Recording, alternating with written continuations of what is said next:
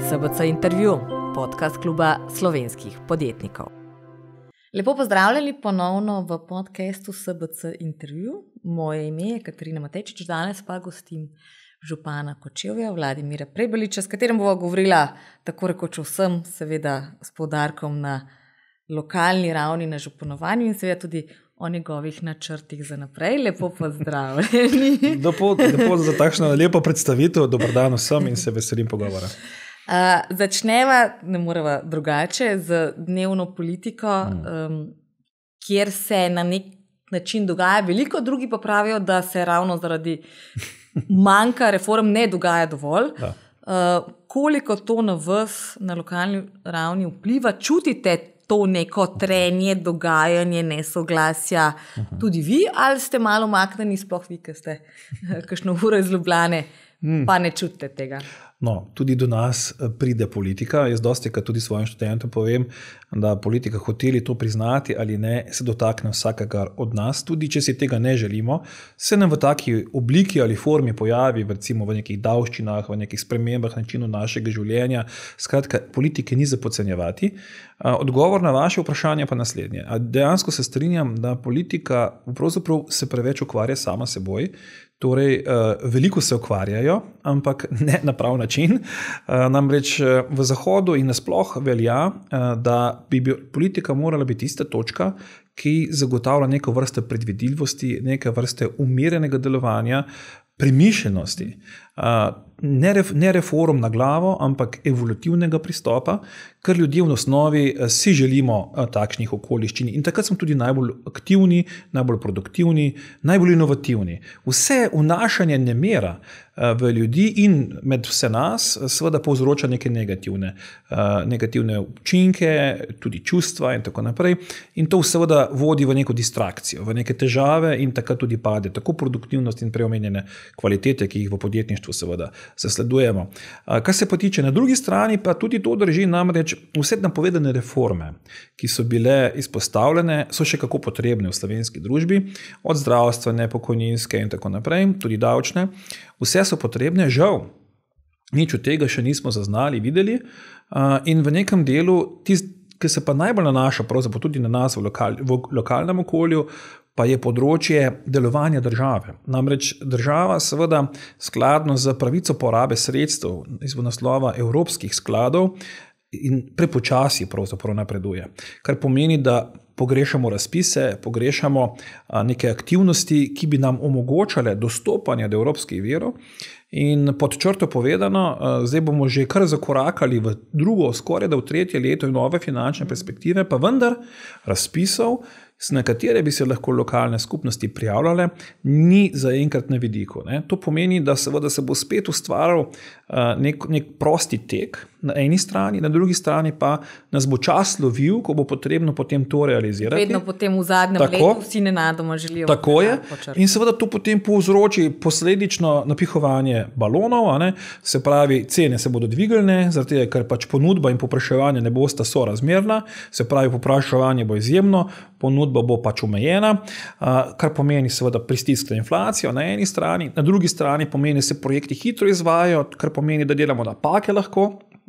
Potem pa na koncu, ko se vse to odpelje, smo podvrženi tudi različnim oblikam nadzorov. In seveda, če se odkrijejo nepravilnosti, napake ali kakorkoli že pri izvedbi evropskih projektov, to seveda pomeni vračanje denarja. Ne? In ta stvar. Tega si seveda noben želi. Seveda. In je škoda, ne? ker jaz vedno znova opozarjam, mi bi lahko bolj progresivno te zadeve peljali in vedno znova se lovimo v, v isto zanko. Tako da v vseh teh segmentih bi si želeli boljšega dialoga, večjih aktivnosti, tudi malo bolj premišljenega delovanja, ker tudi za nas je težko načrtovati proračune, če seveda nimamo najbolj temeljnih vhodnih podatkov. Ne. Tako da, ja, želeli bi si malo drugačne politike. E, sami ste rekli, da se politika v tem trenutku predvsej ukvarja sama s sabo. Vse to vam tudi pozna na ta način, da plus manjkajo nam trije ministri, ja. da morda v nekem trenutku nimate pravega sogovornika na drugi strani, torej na um, nacionalni ravni, ravno zato, ker se več časa porabi za neke interne spopade ali da. znotraj stranke, ali znotraj koalicije, ali za neke ideje o rekonstrukcijah. Da. In vi potem, ne, v končni fazi, nimamo kmetijskega ministra, uh mhm. -huh. nimamo uh, ministra za javno upravo. Ne. To so vsekakor. Okoljskega, prav. Okoljskega, ne. To ja. so vsekakor ministrstva, ki so v tem trenutku, sploh za lokalno raven, še kako pomembni. Se popolnoma strinjam. Zdaj težava težava nastopi še v tem, da vse ta čas, ko je izprazen prostor, uh, so špekulacije, kdo bo, kako bo, na kakšen način bo. Ne? In seveda to spet vnaša nemir v delovanje same strukture uprave, na eni strani, na drugi strani pa seveda roko na srce, če minister je v hiši, to je tako kot gospodar v podjetju. Ne? Se pravi, če je minister v hiši, lahko pohitri uh, nekatere postopke, bdi na tem, kako se stvari izvajo. Ta trenutek seveda je to nek, nek tek, nek tek, ki seveda ni tisti, ki si mi ga želeli, In zlasti me skrbi področje okolja. Mm. Namreč tukaj so že prej bile velike zadrege, brez ministra se bodo te zadrege še nakopičile. In konec koncev, zdaj bomo vstopili v to famozno obdobje sanacije po poplavah. Jaz sem prepričan, da bo mnogo občin, ki je bilo prizadetih v teh poplavah, iskalo možnost spremembe občinskih prostorskih načrtov. In ne imeti sogovornika v vlogi ministra, se mi zdi, da ni produktivna, uh, produktivna faza. Mm. Torej, na, na, poziv, želja z naše strani bi bila, da se to čim prej popolni, da dobimo seveda kompetentne ministre na teh ministrstvih in da zelo, zelo hitro začnejo z delom, ker to nas bo spet odmikalo v vseh teh postopkih nekam v neko oddaljeno prihodnost in spet smo na začetku, to bo spet v ljudeh vnašalo nemir, projekti ne bodo realizirani, en kupen slabe energije in na koncu tudi slabe volje bo povzročene. Uh, Jos Pečečnik, ki je predsednik SBC, pravi, da sploh zdaj po poplavah se vidi, da bi bilo stvari bistveno lažje urejati in hitreje reševati, če bi bile nekoliko decentralizirane, torej ne vse skoncentrirano v Ljubljani. Na drugi strani je recimo očitek gospodarstvenikov, da se premije obnaša kot sončni kralj, kar pomeni, da ne samo, da, da nimamo decentralizacije, ampak da imamo celo osebo, ki tako rekoč sama poskuša uh, se odločati, ne, ne sprejema prav veliko nekih drugih predlogov. Gospod Robiš je recimo navedel primer um, tistega uh, solidarnostnega ponedeljka, kaj je že bil, ko večina ljudi potem ni šla delati in pomagati, ampak je to vzela za nek most in je šla na morje. Uh mhm. -huh. In rekel, kaj on se je zjutraj spomnil in rekel, u, bomo pa imeli praznika, ne, full fine. Uh, tako da Vaše mnenje je to problem, da se stvari vodijo na ta način iz Ljubljana in to ne samo iz Ljubljana, ampak iz enega človeka? Uh mhm. -huh. Zdaj, če se najprej dotaknem prvega dela, torej Ljubljane, uh, seveda že temeljno načelo Evropske unije je načelo subsidijarnosti, sprejemanje odločitev čim bližje ljudem, ki jih te odločitve se dotaknejo. Se pravi, to bi bila velika dodana vrednost. Osebno sem vse čas bil in še danes sem zagovornik ustanovitve regij, torej da se določena količina odločitev prenese na raven nižje, bliže ljudem, te odločitve so potem sprejete hitreje, te odločitve tudi bolj odslikavajo potrebe, ki so v neki lokaliteti, um, in na koncu smo vsi nekako bolj zadovoljni. Ne? Uh, seveda je pa res, da oblast. Eh, je taka posebna značilnost. Ne, bomo rekli temu, uh, znanje stavek, ne, oblast kvari, popolno oblast pa kvari popolnoma. Uh, zdaj, žal, ne, je pa zdaj seveda zelo odvisno od karakterja osebe, ki seveda to oblast dobi v roke. Ne. Winston Churchill je nekoč rekel, če želiš spoznati človeka do obisti, potem mu daj oblast v roke in ga boš prepoznal v vseh njegovih vrlinah.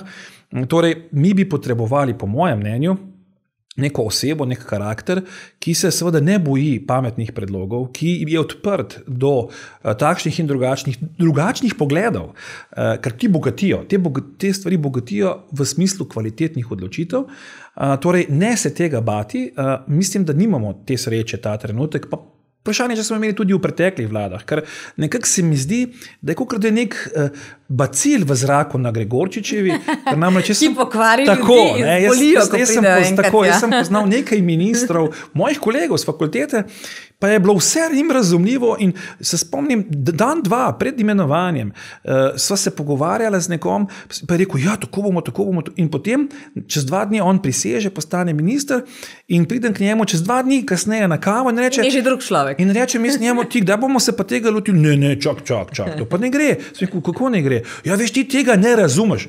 Mislim, halo, skupaj smo delali neko zgodbo in jaz denaroma tega ne razumem. Skratka, težava je, eh, da je največja vrlina oblastnika, katerega koli že, v tem, da se zna samo omejiti. Da se vse čas zaveda, da je tukaj zato, da služi drugim, In da seveda, če lahko, oziroma želi služiti drugim, potem mora biti odprt za predloge. Uh, žal, kot sem rekel, te, te sreče ni bilo in nekaj časa že v Sloveniji, in seveda potem so odločitve takšne, kakršne so. Ne? Seveda, jaz verjamem, da vsakdo, ki pride na Gregorčičev, pride z namenom iskrenega dobrega. Ne?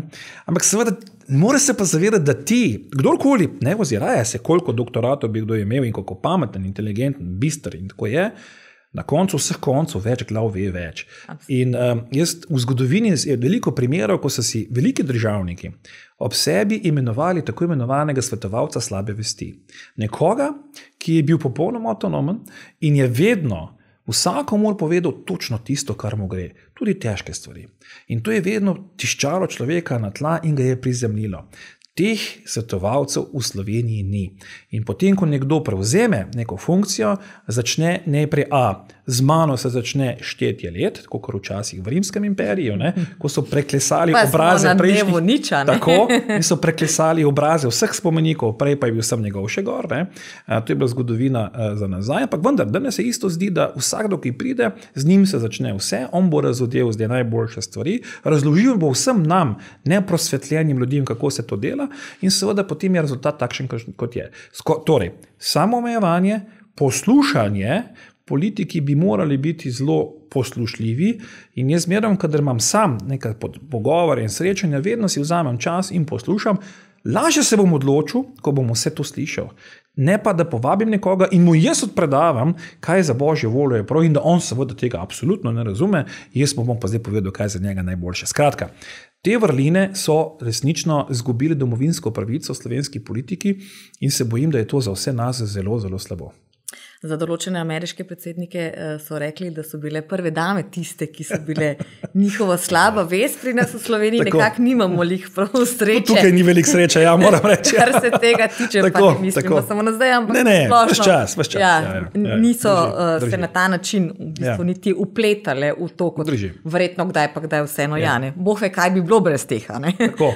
Potem se lahko še le vprašamo. Uh, torej, prejšnji smo podcastu govorili, da sicer.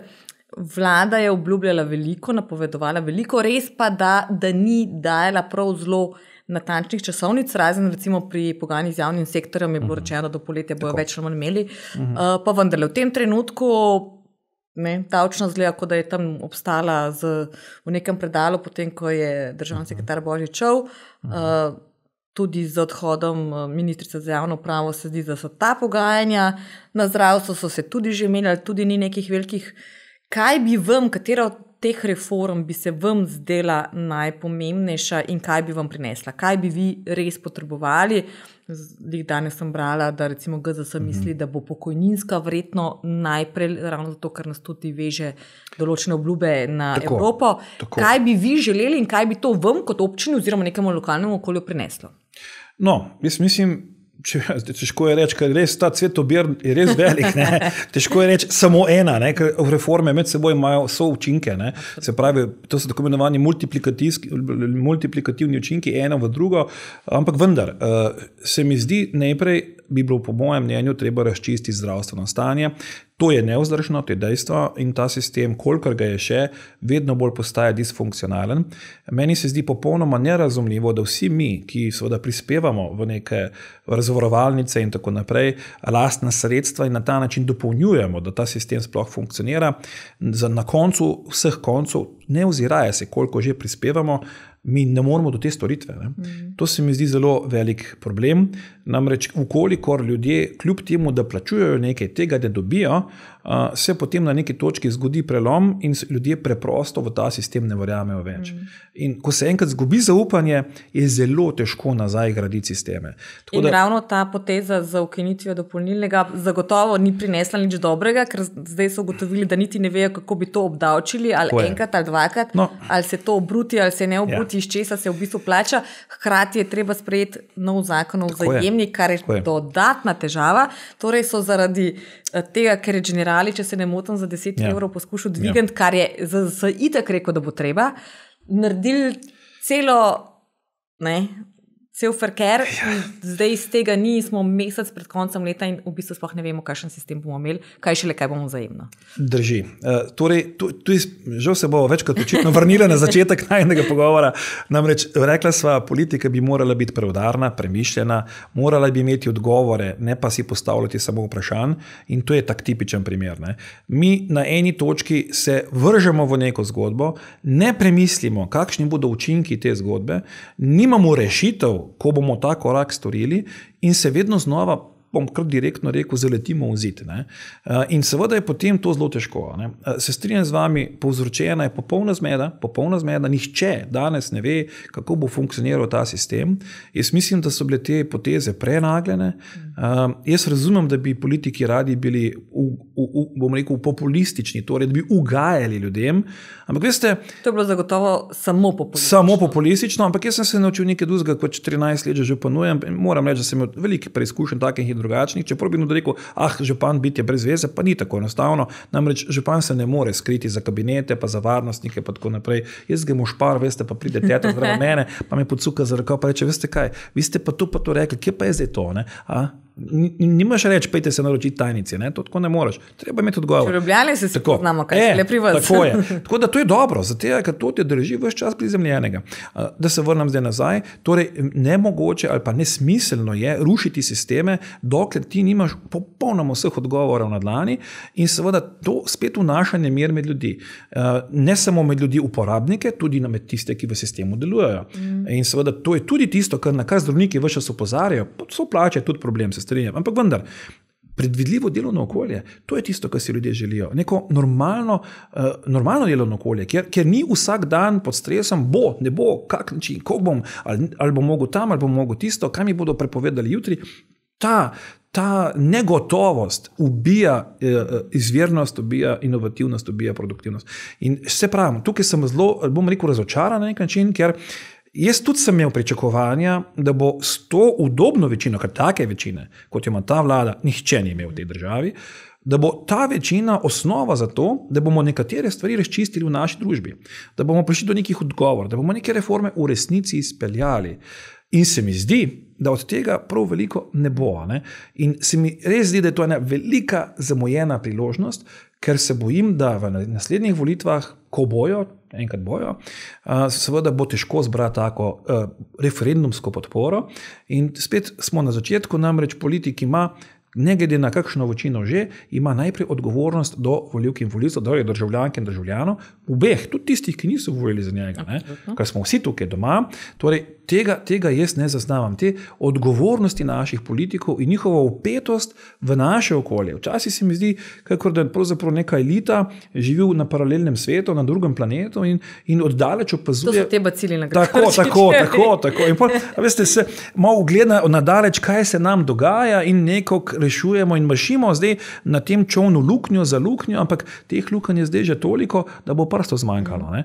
Tako da to ni dobro. Uh, ker so jih umenili zdravnike, ja. zadnjič sem slišala za en zdravstveni dom, kjer so v enem letu odšle tri pediatrinje mm. in torej niso imeli sploh več pediatrov, to ja. ne bi drugi zdravniki prevzeli otroke. Uh, kako je s tem pri vas? Mm -hmm. Veliko je govora mm -hmm. o pomankanju zdravnikov, ja. sploh v lokalnem okolju, seveda tudi v Ljubljani, da bi to osebnega zdravnika, mm -hmm. je skoraj mission impossible, ja. uh, nekje v lokalnih okoljih pa še toliko bolj. Kako je pri vas, imate ta del poskrbljen, ste prijazno lokalno okolje za zdravnike in drugo ja. zdravstveno osebe?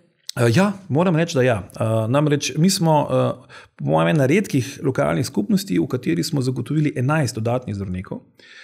Res je, da so to zdravniki iz drugih območij, niso slovenci. Uh, pa bom povedal, kako je to vse skupaj šlo. Uh, mi smo imeli eno obdobje, kjer so se generacije menjale. Ne? Namreč zdaj meni je žal, ampak tudi uh, še pred mojo ero, če lahko temu tako rečem, ko sem vodil občino, je bil zdravstveni dom voden na način, kjer se ni zagotavljalo obnavljanje generacij.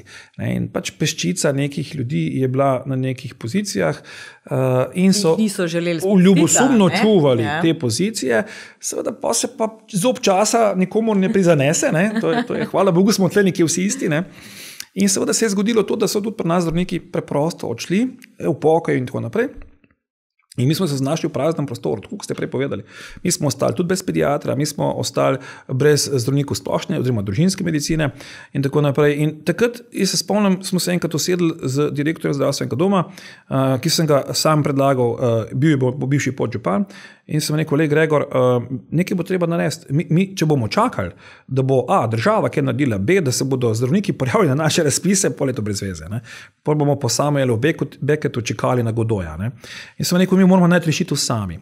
In je rekel, veš kaj, jaz pa poznam nekoga v Zrenjaninu, v Srbiji, mogoče bi pa tam lahko mi naredili informativni dan. Sem rekel, takoj pokliči, je poklical dol, rekel, lejte, mi bomo, jaz sem rekel, stroški vse, no, to je naša stvar, vse bomo pokrili. Sem rekel, mi želimo predstaviti priložnost dela v Sloveniji in to pri nas. In res, mi smo šli dol, najeli smo hotel, se dobili tam zdravniki, uh, prišlo jih je 12, smo se usedli in smo šli po vrsti, se pravi, najprej delovno okolje, nagrada, uh, kaj ponuja kot lokalna skupnost in tako naprej. Uh, in smo vse te zadeve predstavili. In moram reči, da so ljudje to pazljivo poslušali. Uh, in potem smo rekli: Poglejte, če bi uh, vam čas dopuščal, vas vse povabimo k nam v Kočevje na vikend. Uh, plačamo mi vse, se pravi, nočitve, hrana, pripeljite družine s seboj, bomo šli malo po kočevju in boste malo spoznali naše okolje. In res, tri družine so res prišle. Mi smo jih pogostili, najeli apartmaje, pokrili stroške in tako naprej. Jaz sem jih sprejel v svoje pisarne, smo vse to razložili. Uh, no, in potem uh, so se te osebe začele zelo, zelo resno zanimati. Uh, in Udali so seveda po, po, po, po regalcih, ne pri nostrifikaciji in tako naprej. No, in vse te stvari smo opravili. No, in potem je prišel prvi zdravnik uh, k nam v Kočevje, uh, ne prej sam, ker so imeli še dva otroka, sta bila glih v sredi procesa šolanja in je rekel, da bo ob koncu šolskega leta potem prešolil. Uh, no, in potem smo poskrbeli, ampak res vse. Ko je, prišel, ko je prišel zdravnik v Kočevje, ga je čakalo stanovanje, ko je rekel, ja, kaj pa bi imel pa tako. Na pa vaše ta, stroške? Vse, vse na občinske stroške. Pa je rekel, ja, veste, pa bi jaz imel tak šedilnik, šedilnik jutar, pa bi imel tak šedilnik, šedilnik jutar. Smo se vse dogovorili. Potem je prišla družina uh, z njim, ja, pa bi šel otrok uh, v šolo. Sem rekel, noben problem. Določili smo tutorja za slovenski jezik, ki je spremljal vsak dan. So z ravnateljem usedli, ravnatelj se z njim pogovoril, in tako naprej. Je prišla gospa njegova, je rekla, jaz bi pa tudi delala, služba je tam, v redu, pejte delati. Skratka, Temu se reče soft landing. Ne? Meni je kristalno jasno, sam sem velik tudi v tujini študiral in delal, da ko neko okolje prideš, ti rabiš neko temeljno infrastrukturo. In če imaš nekoga, ki ti za to poskrbi, je to po Mastercardovi reklami mm. priceless. Mm -hmm. Liga prvako je priceless. Za vse tukaj... Mastercard. tako, za ostale pa Mastercard. Tako. Skratka, um, ko se je ta izkušnja razvedla, uh, mi imamo danes toliko prošen za nas, zdravstven dom, da smo rekli: oprostite. Ampak, da imate že preveč. Tako, sem rekel: probejte tam, pa tam. Veste, mi, mi ne moramo, ker eh, programa nimamo. Mi imamo torej, toliko programa. Imate 11, ja, vsi so iz Srbije. Um, Tako je. V glavnem so, mislim, imamo še slovenske, ne? ampak ti, ja, ja, no, ne, ampak te, ti, ki so pa prišli, tako, ti so, pa, ti so pa vsi iz Srbije. Niste pa ni in uh, smo poskušali, smo poskušali, fazi, smo poskušali, malo, čez, smo poskušali v Hrvaški in v Bosni, Aha. ampak tam so pa ambicije drugačne. Uh, za njih je pa Slovenija že malo premalo, za njih je Aha. pa Avstrija, pa Nemčija, pa tako naprej. Tako da težko smo bili kompetitivni v tem pogledu, tukaj smo pa našli neko, neko zgodbo in moram reči, da smo do zdaj zelo zadovoljni. In je še kakšna občina se zgledovala po vas? Zaenkrat ne, zaenkrat ne, zaenkrat ne. Ampak veste, to je samo inicijativnost.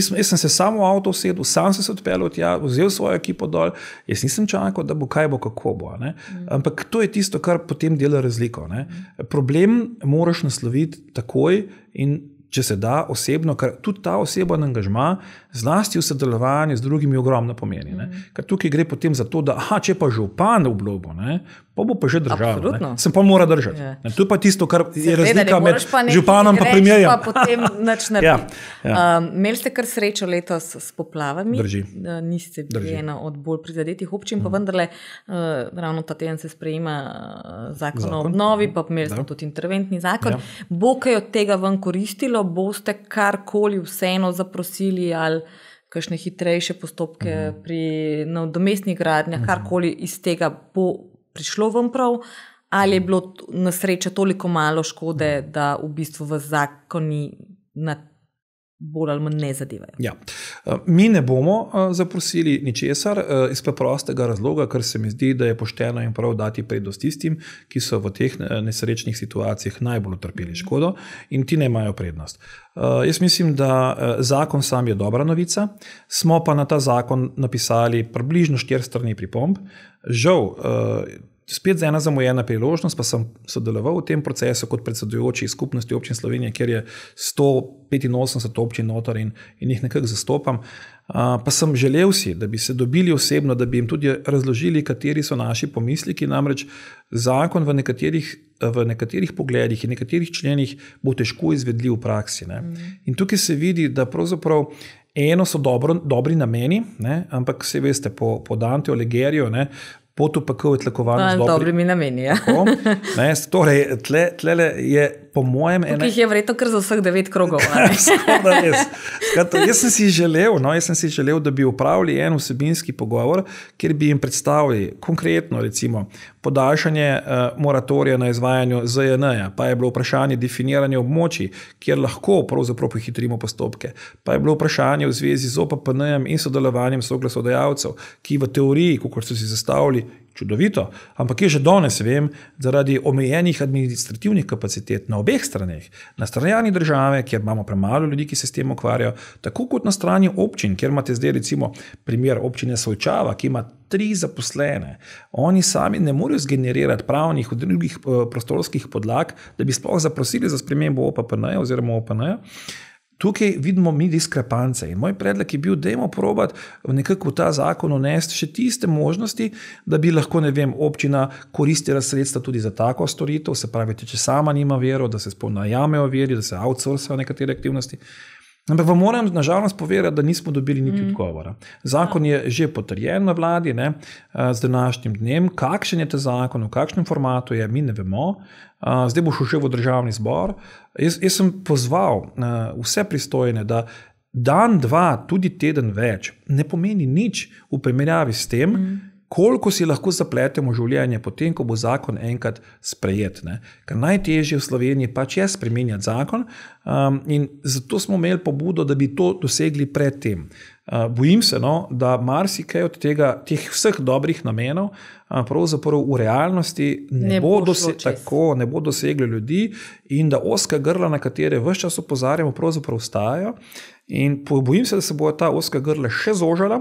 Namreč morate razumeti, da če ali pa ko se bodo občine spravile v spremembo prostorske zakonodaje, uh, povprečna doba do zdaj OPN-ja, temeljnega prostorskega akta v občini, je bila šest let, ob tem, da je bil pripad materije nekje 15 do 20 predlogov, ja. zdaj jih boste pa dobili 180. Mm.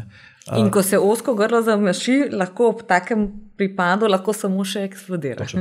In to smo opozarjali. To smo opozarjali sem, jaz se pravim, več kot to ne morem. Mm. Meni je žal, no, da, da tega posluha ni in je škoda, da ga ni, ker ne želi nihče nič slabega.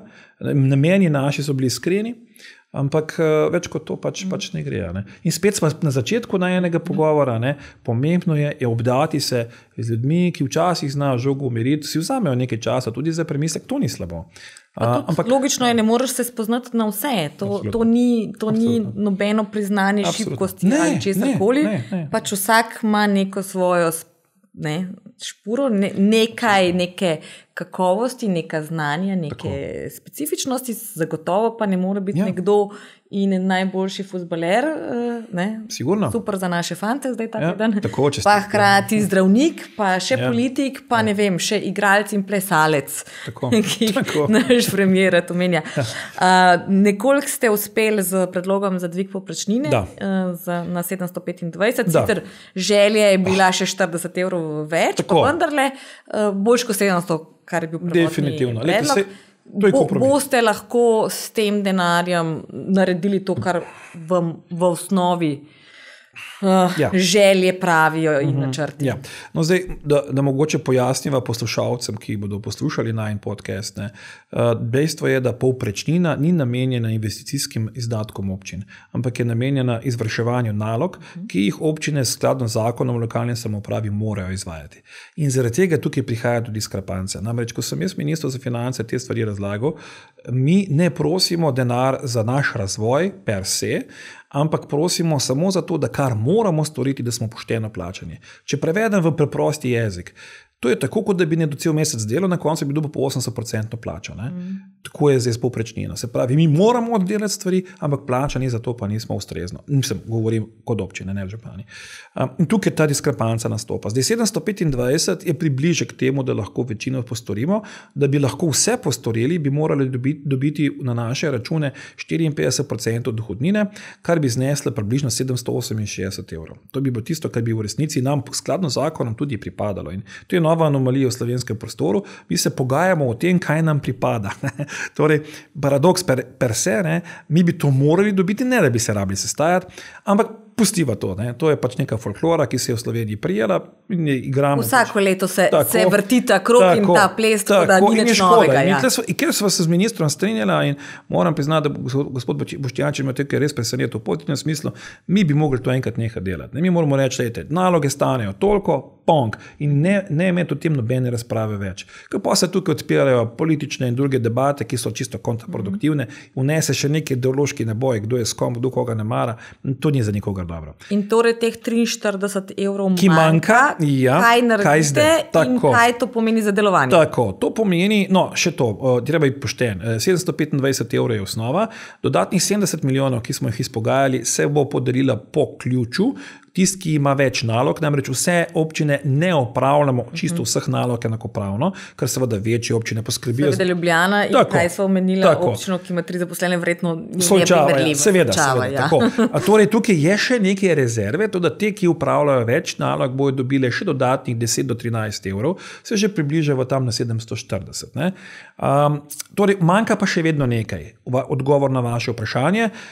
Občine morajo, potem se še vedno želijo te naloge opraviti in jih konec koncev morajo. Ne, uh, Zveda zajedajo v lastne prihodke, ne, izvirni prihodki občin, ki, ki prihajajo iz dveh postavk. Eno je seveda iz kapitalskih prihodkov, to so prihodki, ki jih dobi občina od prodaje zemljišč in tako naprej, in pa najemnin, ki jih lahko dobi skozi premoženje, ki ga dajo v najem in tako naprej. Seveda iz tega pa NUSZ in pa, in pa komunalni mm. prispevek, to so pa davščine. Skratka, iz tega iz te plejade, ne, kar zdaj občina zbere, potem pomeni, da mora iz verov, ki jih ima za lasten razvoj, za investicije, za, za infrastrukturo in vse, odščipati nekaj, da doštuka tam, kjer manjka. Ne. In seveda, moje pojasnilo je bilo jasno tudi ministru.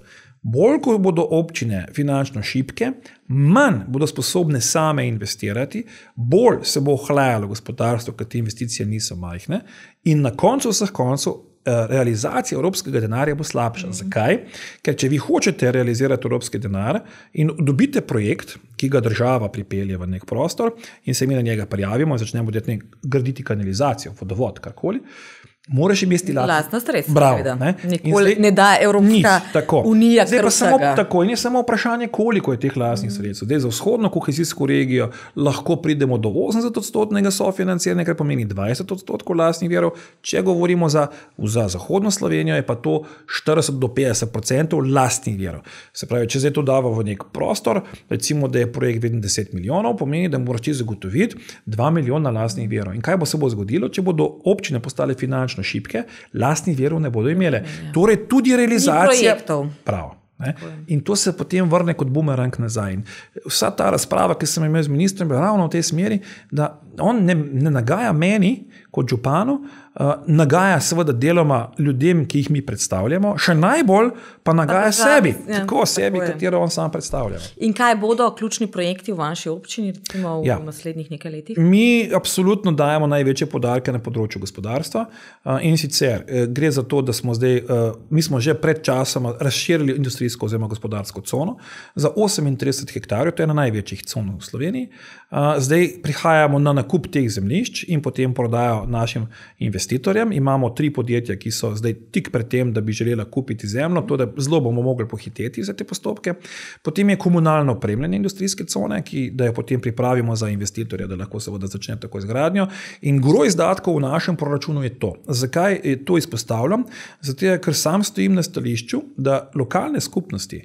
Uh, lahko pomembno vplivajo na to, kako se bo gospodarstvo razvijalo. Če mi ustvarimo pogoje za to, da investitor A je zaželen, da pride, da, da ima na razpolago zemljo, kjer investira, da ga sledi infrastruktura, za katero skrbi občina v lokalnem prostoru, pa da zraven dodamo še takšne ali drugačne spodbude, recimo v primeru, mi smo imeli primer zniževanja komunalnih obremenitev, zniževanja uh, NVZ, dobestilo za uporabo stavbnih in tako naprej. Skratka, mali, male stvari, ampak vendar, naučil sem se skozi to, kar počnem, da nekomu, ki prihaja v lokalni prostor, recimo gospodarstveniku, je zelo pomembno, ali je v tem okolju sprejet zaželen, ali ga to okolje zavrača. Ne?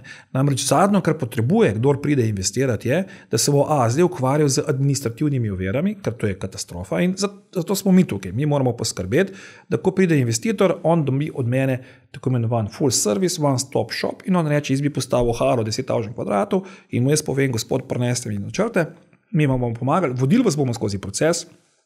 In dobiti boste svojo podporo. In lahko se pohvalim, no, da je naša lokalna skupnost v sodelovanju z upravno enoto ena tistih, kjer se na, na gradbeno dovoljenje čaka tri tedne maksimalno. Ne. So vaši na Tako. upravni enoti prejšnji teden stavkali? Ne, ne. Niso, torej ne, zadovoljni. Ne, ne ja, veste, gre za to, da se ustvari neka klima. Ne. Mislim, da je seveda tudi nekaj sreče, eh, vodja upravne enote, ki, ki razume tudi mojo filozofijo, deli ta pogled in je to toliko lažje. Ne. Torej, mi poskušamo biti res v, v službi naroda, ki, ki ga nekako predstavljamo.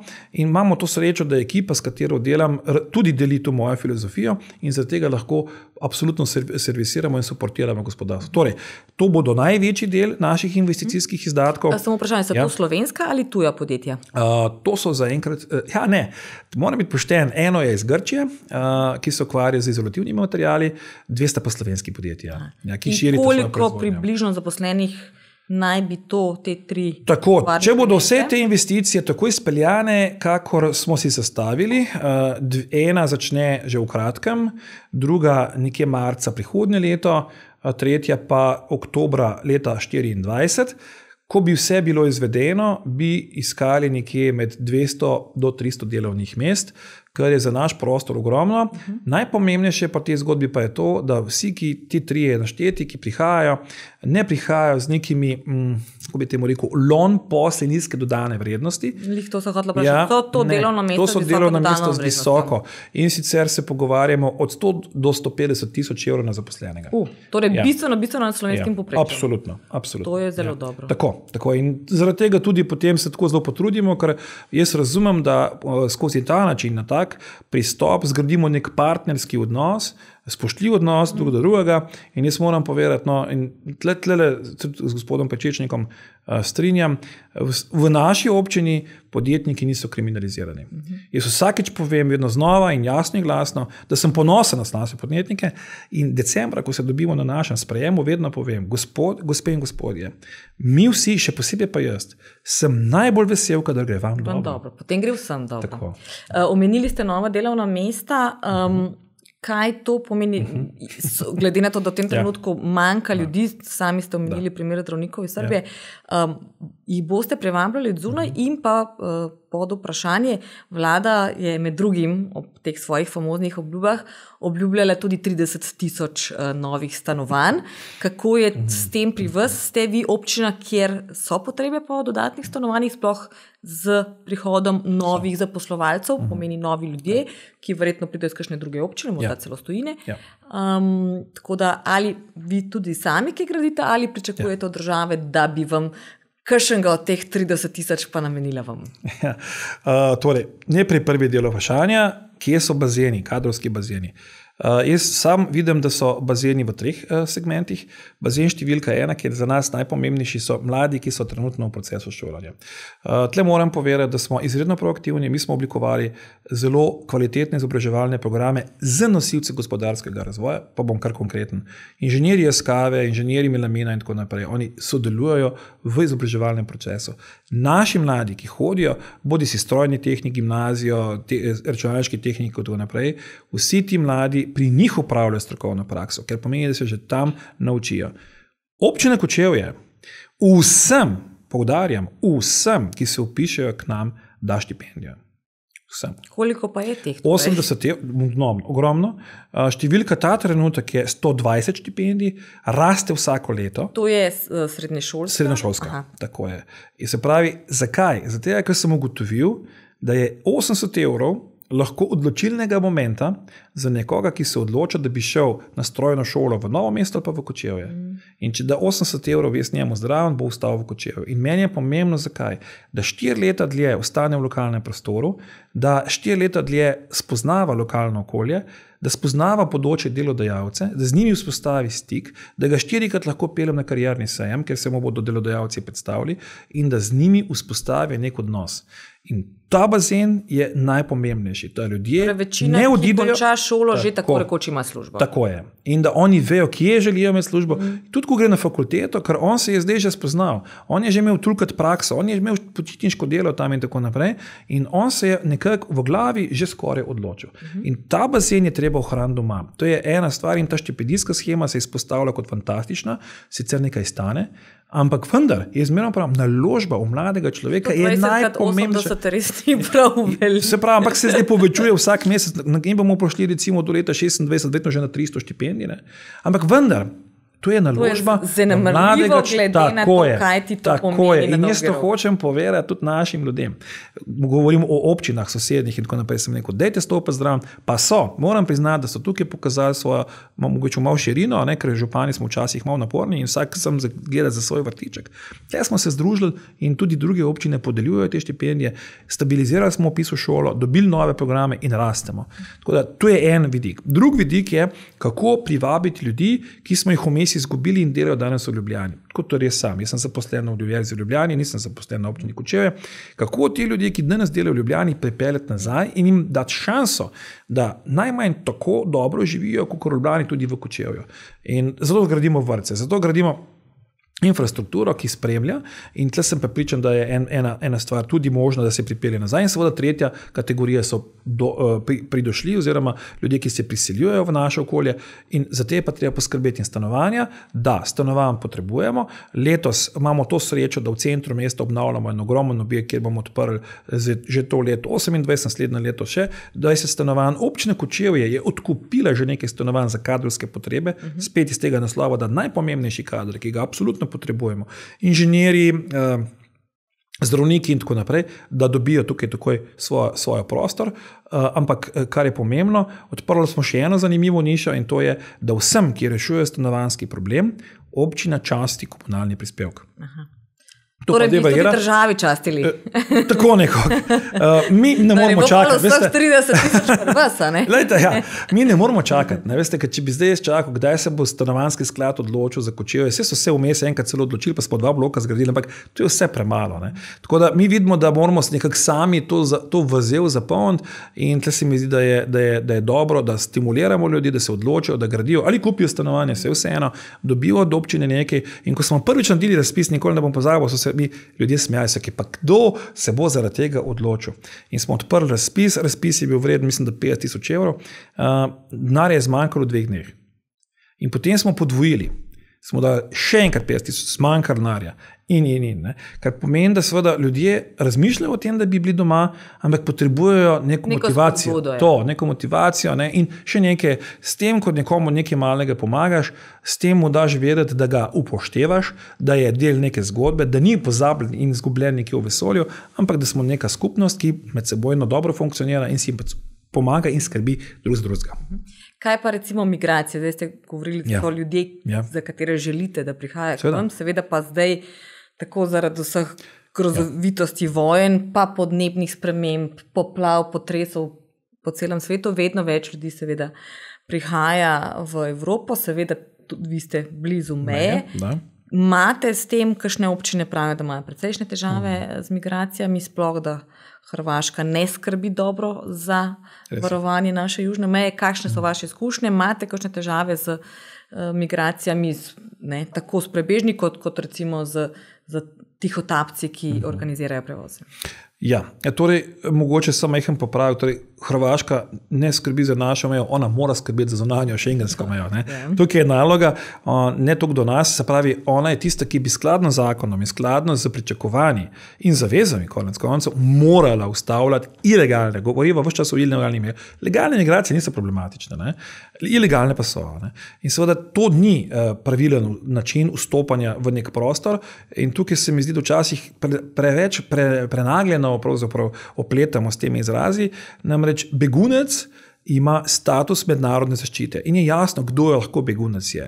Begunec je tisti, ki si rešuje življenje, na kateri visi uh, vprašanje eksistence in tako naprej. Uh, migranti ekonomskega značaja ne morejo in ne pašejo v kategorijo mednarodne zaščite. To ni eno in isto in žal se preveč to poenostavljeno se, se predstavlja.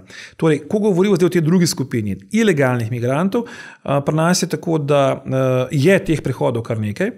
Res je tudi, da policija seveda skrbi nekako poskuša te stvari upravljati, če lahko temu tako rečem. Ampak vendar, da bi zdaj kakšna velika škoda zaradi tega nastala, pravzaprav ne. Se mi pa zdi, da bo morala Evropa, tukaj pa seveda problem širši, Slovenija sama tega problema ne more rešiti, tudi če bi berlinski zid postavili. Ne? Ker pač to, kar je ta, ta potreba ljudi, da si najdejo pot v boljši svet, tako velika, jih nič ne bo ustavilo. Torej, Evropska unija, po mojem mnenju, mora priti z celovito rešitvijo upravljanja z migracijami. Sam osebno menim, da bi si lahko vzeli za zgled tudi ZDA, vsaj v enem delem kontekstu, ne vseh, v enem pa. In to je, da se seveda v izven območja Evrope neki, recimo, temu centri, prijavi, centri prijavljenih, tisti, ki želijo vstopiti v evropski prostor, enostavno oddajo prošlo, uh, navedejo reference, navedejo pričakovanja, navedejo znanja, ki jih imajo, in tako naprej.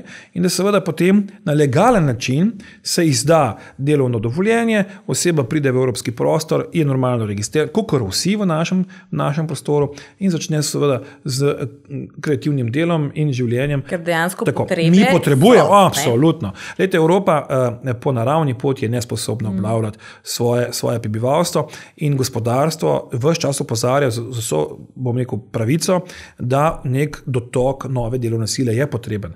S tem, da imamo še en problem, ne, da diferencijacija del obstaja, ne, in seveda v Sloveniji tudi več niso vsi pripravljeni upravljati vseh Tega. del. Ne, kar pomeni, da mi res potrebujemo to asistenco, če lahko tako rečem, in ljudje so dobrodošli. Sam seveda mi moramo najti pot za njih in za nas. Predno se odpravijo v nekem malem čovnu na morje. Tako je, samo to. Mi moramo najti pot in jaz mislim, da bi bila pot teh registracijskih centrov, ne vem, v Egiptu, v Turčiji, kjerkoli že, kjer bi oseba pač preprosto izdala to prošnjo, nekdo mu izda dovoljenje in ta oseba pride in normalno dela in se mu je treba tiho tapati, skrivati, ne bo in ga ne bo okradil, kar je najhujša uh, in pa zavržena zgodba je ta, da se na že zelo obremenjenih ljudeh in, in ljudeh, ki že imajo ogromno zgodb, slabih za seboj, izživljajo potem še tih otapcev in jih potem še dodatno kraj. To je, to je absolutno zavržno dejanje. In to se izognemo samo na način, da mi uvedemo red in da na oni legalen način, ni potrebe za skrivanje, tih utapljanja in tako naprej,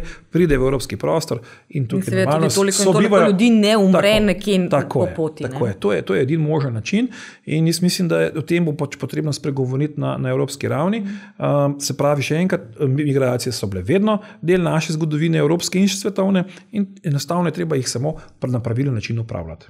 Ko smo ravno pri poti, uh, kakšna je vaša nadaljna pot? Rekli ste, 13 let ste že župan Kočevja, lani ste se sicer podali uh mhm. -huh. na predsedniške volitve. Uh, sklepam, da to ni bil zadnji poskus, morda ne na predsedniških, ampak kakšnih drugih. Torej, kakšne so vaše nadaljne ambicije, kje se vidite? Uh, morda drugo leto na evropskih volitvah, ali boste počakali na naslednje uh, parlamentarne? Ja, no, to je malo težje vprašanje kot prejšnje. Heca, malo za šalo, malo za res. Uh, mislim, da po štirih mandatih, zdaj je moj četrti mandat, uh, nekako prideš na neko točko, kjer če delaš dobro, si dal tisto, kar si lahko dal. Um, in je prav, da pridejo nekateri drugi modaki po, potem prevzamejo štafetno palico, hitreje, agilneje, potem delajo naprej. In uh, absolutno ideja o tem je, da je to moj zadnji županski mandat. Um, ideja kandidiranja na evropskih volitvah mi je blizu.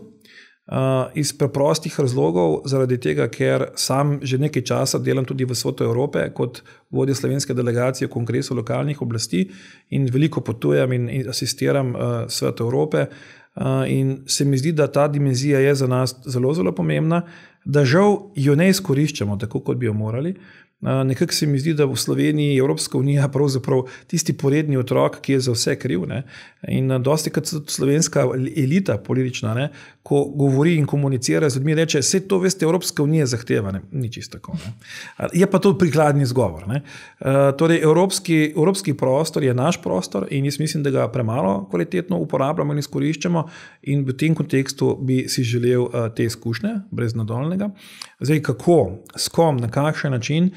Tega odgovora danes še nimam. Torej, niste se pa... še z nikomer pogovarjali? Sem, se po... ne, ne, bi... Aha, pogovarjal. To nisem rekel. Pogovarjal sem se mnogo, z Aha, mnogimi samo ljudmi. Samo niste se še dokončno odločili. Tako, nismo se pa dogovorili, veste, jaz tako pravim. Ne? E, želel bi si izkušnje, ki bi bila uh, na nek način zelo iskrena, predvsem mi je bistveno, da je transparentna, uh, da ne vnaša nekih prtljak iz preteklosti, ker to samo obremenjuje ljudi. Uh, da je vključujoča in ne izključujoča. Torej, da ne kandidiramo na način, mi smo zdaj to, oni so pa vse slabo, mi smo pa rešitelji, to je napačna filozofija.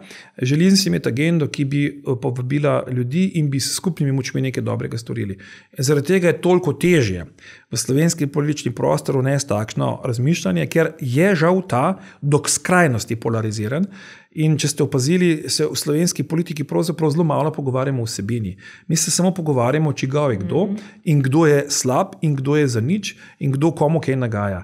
Ne pogovarjamo se pa nič o vsebini, v smislu, ko smo se prej dotaknili od reform do gospodarstva, do tega jaz pogrešam in jaz bi si želel tega pristopa. Torej, malo bolj nazorsko, širšega, ne izključujočega, in zaradi tega je tudi težko najti partnerje v tej zgodbi.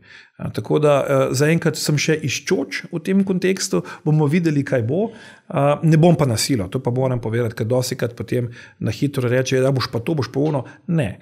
Lejte, jaz politiko jemljem kot neko žlahtno veščino, čeprav se bo nekdo nasmehnil ob tej trditvi, ampak vendar, veste, tako kot je gospodarstvo voditi veščina in znanje, spretnost, tako je tudi v politiki. Žal smo politiko degradirali in se zdi, da lahko je danes vsak politik, ima 15 minut časa, pa neko neizpolnjeno ambicijo iz otroštva, pa bo potem pa predsednik. Ne? To ni dobro, to ni dobro, mi rabimo drugačen pristop. In veste, v tujinah, preden nekdo pride na neko funkcijo, se dolgo kali.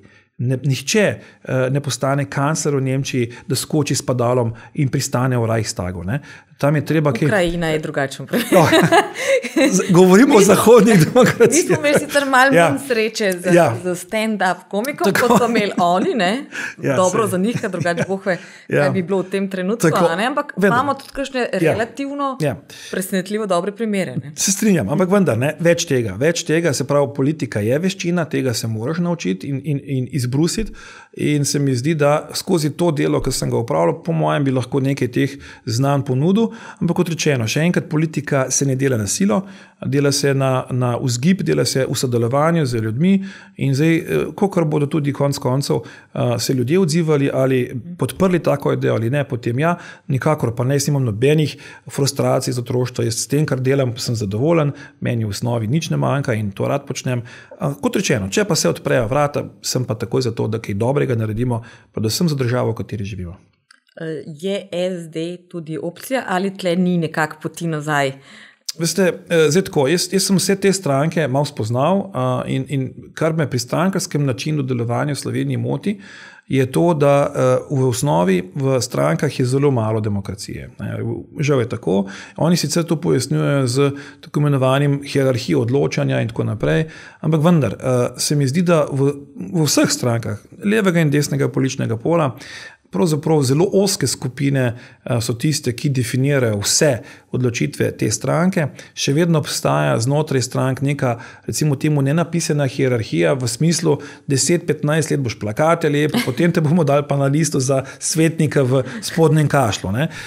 Ni, ni tistega, veste, da bi nekdo res kadrovsko pogledal in rekel: Poglej, ta zna pa to, ta zna pa to. Izkoristimo te danosti, veščine, znanja, ki jih nekdo ima. Tega manjka. Tako da uh, se mi zdi, da to, kar imamo danes od ponudbe, od strank, eh, iz teh naštetih razlogov eh, so za mene dosta odbijajoče stvari. Tako da ne gre za to, da zdaj koga imaš rad, nimaš rad, gre pa prosto za to, ali se z načinom dela strinjaš ali se pač ne. In reč, reč moram, no, da me nobena do zdaj ni prav posebej navdušila, da bi zdaj se uh, z nekom spravil v neko skupno pot, ker kot rečeno, je tukaj anomalija ogromna. Mhm. Kaj pa lastna stranka? No, To, ta opcija mi je pa blizu, moram reči. Ne. Samo je pa po drugi strani spet res, to moram biti pošten, veste, delati stranko je, je kar izziv. Je kar izziv, namreč eh, to je proces, to je delo. Eh, tako da eh, bomo videli, no, kako bi se tudi tega lotili. O tem tudi razmišljam, samo ni to enostavno. Le so tudi že neke ideje, recimo o županskih. Ja, sem to ne bo realno, veste. To sem se tudi to. sam naučil. Župani smo posebna podvrst, če lahko tako rečem. Ne. Namreč mi smo superfaced, veste, potem, ko je pa treba stopiti iz naših okvirjev in reči, zdaj bomo pa nekaj širše, boljše, drugače, takrat pa vsak začne špekulirati, da ja, ne vem, kaj to pa mogoče za našo občino ne bo dobro, pa bi malo drugače. Majčki smo tle malo, bom rekel, preveč lokalno, patriotsko naravnani. E, izkušnja, ki sem si jo pridobil v tem času, je bila, da bo iz tega težko narediti. Kaj? Tu je super ceh, mi se imamo fajn, ampak so mi neke omejitve v tem načinu razmišljanja, delovanja. Da odgovorim do konca s lastne stranke, mislim, da je to ena dobrih poti, se pa zavedam vseh pasti, težav in izzivov, ki pridejo na taki poti. Zato, kot sem rekel, vam danes žal ne morem odgovoriti. Če me boste povabili čez šest mesecev, vam bom mogoče kaj več povedal. Verjetno se ne bi imenovala po vas, upam. Ne, ne, ne. Lete, to je sploh anomalija. Ni, ni, Tega pa jaz sploh ne razumem. Obneslo. Ne, lete, veste, to, to sem nekaj govoril, bom zdaj malo goropno, pa ne mi bo oproščeno, pa vendar. Um, zelo samo všečno je to, da ti stranko poimenuješ po sebi. Ne. Potem Jaz, pa iščeš neke tako. nove ideje, kako te tako. kratice spremeniti. Ja, in na nek način prav tako ne zelo posrečeno je. Tako, in potem na koncu še druge prisiliš, da se pridružijo stranki. To je vse neka. Prisilna poroka, pravzaprav. Ne? Jaz mislim, da ne. Stranka ne bo odprta, ne bo uh, vključujoča, če se ljudje na programskih osnovah v tej zadevi vidijo, super. Uh, ne pa, da so tukaj zdaj uh, vedno znova samo interesi, oski interesi nekaterih posameznikov. Te skupine, znam, te stvari smo že videli in, in jaz mislim, da še ene take ne potrebujemo. Tako da bom videl. No? Skratka, tukaj nekaj uh, idej je, uh, sem zaenkrat še zorijo, recimo temu, da Martin še ni prišel uh -huh. na vrsto, da bi iz tega nastalo vino. Torej, če slučajno ne uspe na evropskih, potem naslednja opcija so parlamentarne, ko bodo najkasneje čez dve leti in pol, ko morajo biti. Takrat morajo biti, uh, ja, zdaj spet, ne, okoliščine so zelo pomembne. Težko je reči, kakšne bodo okoliščine leta 26, poleti, ko bodo pač volitve. Uh, kot rečeno, uh, to je vse potem stvar razvoja dogodkov če se bodo stvari postavljene na način, da se vidi priložnost, da je tudi pričakovanje neko na strani ljudi. Veste, nisem jaz pristaš tega, da ljudem začnem govoriti, morate mene voliti, ker so oni vsi nesposobni. Ne. Prvo je, da ljudje sami ugotovijo svojo zmoto, da, da vidijo, da to ni v redu, ali pa, ali pa obratno, ali pa ugotovijo, da je pa to v redu, pa bodo še naprej s tem. Zdaj s tem nimam težav. Veste, v demokracijah ima večina vedno prav, tudi takrat, ko nimamo prav. Ne? In s tem je treba živeti. Tako da, če se odpre neko oko, okno, da, da, da so neka pričakovanja za drugačno politiko. Ta, ta je še vedno tista, ki smo jo gledali zadnjih 30 let, se pravi, naši, vaši, proti ono, tretje. Um, jaz imam eno ambicijo, pa bom mogoče zdaj kakšno preveč povedal, pa vendar. Jaz bi si želel, da bi bili recimo v 26 letih sposobni oblikovati eno koalicijo, ki bi šla preko sredine političnega pola. Ne. Namreč, veste, s tem, ko mi. Torej, neke vrste velika. Tako, veste, s tem, ko nokautiramo nekoga ven, ne, eh, se, se vedno znova povzroča neka negativna energija, oblikuje se neka opozicija, ki ni opozicija, ampak je nagajanje, ne? ker tukaj več ne gre za to, ali ima kdo bolj prav, pa kdo manj prav, ne? ampak ima zgornjo ulogo to, da vse, kar predlaga A, mora biti B proti. Pa ne, oziraje se in obratno, kar predlaga B, mora biti A proti. Ne? Jaz to, kar zdaj spremljam v, v našem državnem zboru, To ni vredno parlamenta. Ker, Zdaj še glasovalne naprave ne delajo tako, kot bi morali. Zdaj so začeli dvigati roke, ko so to, je, to je nadgradnja, ki je meni absolutno bizarna. Ampak vendar, veste, politiki morajo iskati rešitve. Tudi če se med seboj ne marajo, tudi če se niso simpatični, ker oni pozabljajo eno samo stvar. Oni so tam zaradi vseh nas, ne zaradi svojih voljivk in voljivcev, tistih nekaj tisoč, vseh nas. Oni imajo odgovornost do vseh nas. In zaradi tega sem vedno znova razočaran, ne, ker potem nekomu nekdo ni všeč, zdaj smo pa vsi tisti, ki tega človeka podpirajo, pa žleh pa tako. To, to, je, to je popolnoma diskvalifikacijsko, ne smemo na ta način delati. Uh, jaz bi se raje pogovoril o tem, kako, recimo, če te nek človek moti, pač ne sodeluje z njim, vse imajo še koga, ki je. Tako da iskanje nekega. Malo širšega konsenza to potrebujemo v naši družbi, ker je to zdaj res eh, popolnoma uh, slabo. In se pravim, na koncu zdaj zgleda, da, da je nekdo izvoljen samo zaradi tega, ker ni tak, kot on. Ne. Ne pogovarjamo se pa, kakšna bo dodana vrednost, kakšna bo vsebina, kakšni bodo naslednji koraki. Tem ne govorimo, govorimo vse čas o antivolitvah. Mm. Ljudje volijo ne zaradi nekoga, ampak ja. tako. In to ni dobro. V demokracijah je to zelo slabo, tudi zelo nevarno. Da končamo s prihodnostjo, že dolgo predavate tudi na faksu. Da. Uh, mnogo ljudi pravi, da je zdajšnja generacija mladih um, precej drugačna, da je razlika večja od prejšnjih generacij, uh mhm. -huh. da smo si bile prej generacije bolj med sabo podobno, seveda si je vsaka nekoliko drugačna, uh -huh. pa vendarle, zdaj sem nekaj prebrala, da eh, si na TikToku star vsi, ki so tam. Uh, Pod letom 2000. pa sem jaz, uh, ja. Biblija. Ja, pač, ne, če nimaš ja. 15 let, si že kar ja. na meji. Uh, kaj opažate vi? Se dejansko generacije spremenjajo, so današnji uh, mladi drugačni, sploh na to generacijo, kar neki šal leti, kako ne, pride na prvi razgovor, pa najprej pove, če se vsega ne bo, ne, sploh se ne začne pogovarjati, kaj bo. So res taki, je to lahko problem? No, dejstvo je, da je drugačnost, sigurno drugačnost je in tudi sam vidim, ko se staram, da najbolj ne sodim več v določene svetove. Ampak veste, težava je v tem, da mi, mi pripisujemo odgovornost mladim, da so takšni. Ne? V resnici pa so oni, po mojem oceni, še najmanj krivi. E, namreč vsi ti mladi imajo neke starše, neke vzornike. In uh, očitno nekdo ni upravil domače naloge. Ne? Veste, zdaj, e, dosti krat meni rečejo, da se vem, mladi zadržujejo, pa delajo te stvari in one stvari. Pred leti, ki se to kao ne spodobi, tudi ni prav. Ampak jaz vprašam, kje so pa vaši starši? A, a, a, a ste se kje doma o teh stvarih pogovorili? Ne? Uh, mislim, da je resnično problem v tem, da moramo nekaj začeti pri sebi. Veste, mi imamo eno tako čudno prirojeno napako v slovenskem prostoru, da so za vse napake vedno krivi drugi. Ne? Nikoli ne začnemo pri sebi. Ne? Pa je kriva učiteljica, pa je kriv ravnatelj, pa ne vem še kdo, pa profesor na faksu me namara.